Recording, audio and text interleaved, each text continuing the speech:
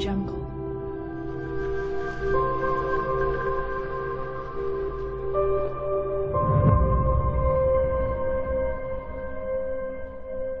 Audio Jungle. 原标题：郑成功收复台湾后，其子孙后代是如何经营的？最终结局又如何？作者：南京师范大学历史系硕士研究生，暨沃努学社青年会会员雷小凡。郑成功率领其部收复台湾后，打算经营台湾作为反攻明朝的基地。郑成功在台湾岛鼓励屯垦，发展农业，收服民心。可惜天妒英才。年仅三十九岁便去世了。其子孙统治台湾时期，推行了一系列政策，对开发台湾地区做出了较大的贡献。郑成功势力是意图。郑经在位时期为一六六二年至一六八一年，近二十年间，郑经集团继续推行开垦，另外积极剿灭海盗，拓展商业。清朝在大陆实行海禁政策。不允许海峡两岸进行商贸来往，但台湾地区依旧与大陆保持着走私贸易。此外，台湾也从德川幕府统治下的日本进口日本的银、铜等金属与盔甲，以武装军队。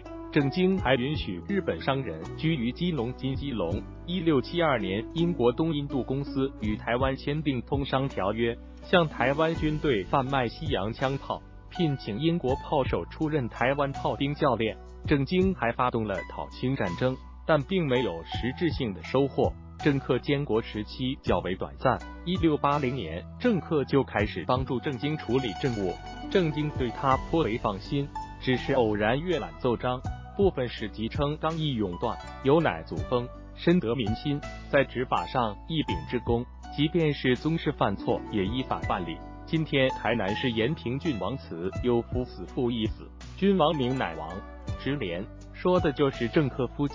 可惜当时的统治集团内部倾轧严重，郑克死于政治斗争，自此正是台湾国势开始衰退。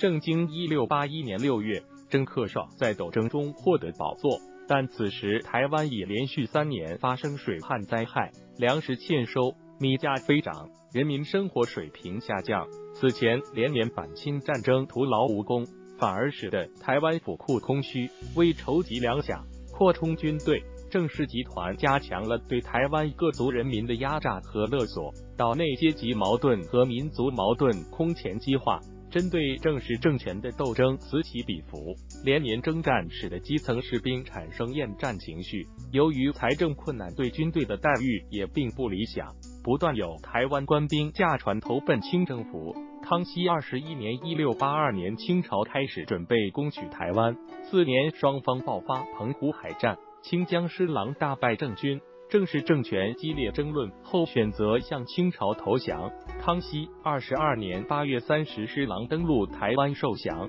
施琅府邸。随后，郑克爽全家被送往京师，隶属汉军正红旗，受封为海成公。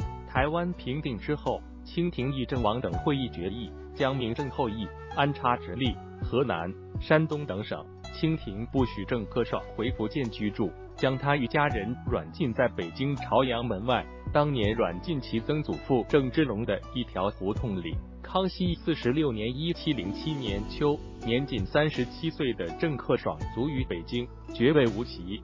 郑克爽死后，其母黄氏向清廷要求发还郑家产业，但不了了之。参考资料：连横、台湾通史赵尔勋等，清史稿，邓孔昭、郑成功与明正台湾史研究编辑，暨沃努学社青年会会员师旗。